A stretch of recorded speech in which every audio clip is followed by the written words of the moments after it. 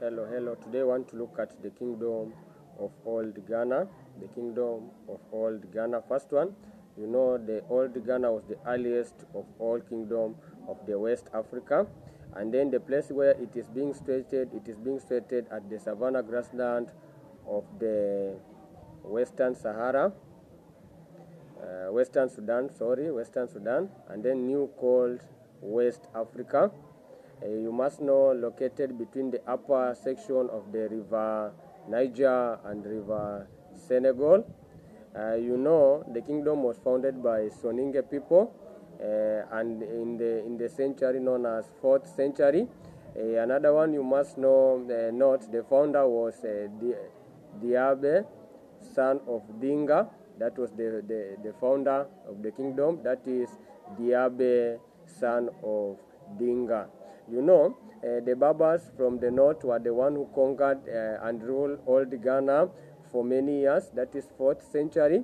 And then the end of 8th century, we had the, uh, the, the, powerful ruler known as, known as Kaya Magan, defeated the Babas and established the Soninke uh, rule with their capital at Kumbi Saleh. So the capital of Soninke, it was at Kumbi Saleh. And then Kaya means king. You must know Kaya means king. Another one you must know later, the, the, the, the rulers of old Ghana, such as Tunka Manin, expanded the kingdom. They expanded the kingdom. So Tunka Manin was the powerful leader and then expanded the kingdom when he had a lot of military conquest.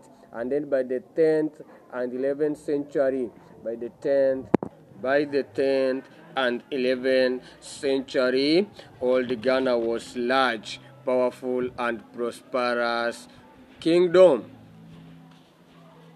Prosperous kingdom. Another one you must know uh, factors that uh, led to contribution of the rise of old Ghana. First factor, strong and respected rulers. They had strong and respected rulers too. They had strong and well-equipped army. Another one, they, they, they had the trans-Saharan trade, uh, i.e., example, the, the, the, traders from the North Africa brought salt, sword, horses, and glassware in exchange for gold, ivory, and cola nuts from West Africa. And then you must know uh, the location the location in the fertile area presidency weak neighbors state even uh, the location in the fertile area made them to grow and then down the presidency of weak neighbors they conquered those weak neighbors. And then you want, you want to look at now the causes of the decline of the old ghana how now the old ghana was declined. First one old ghana declined because of the breaking away of con state by the vas vassal kings. Uh, the kingdom became too big to uh, to be administered effectively. Even the kingdom was too big, and then the decline of all the trans-Saharan uh, trade, and then converting people of old Ghana to Islam now made now people uh, the decline of old Ghana, and then even the attack of the Berbers, the attack of the Berbers, and then we had the, the rise of the kingdom of Mali under Sundiata Keita now made uh, made uh, old Ghana to decline.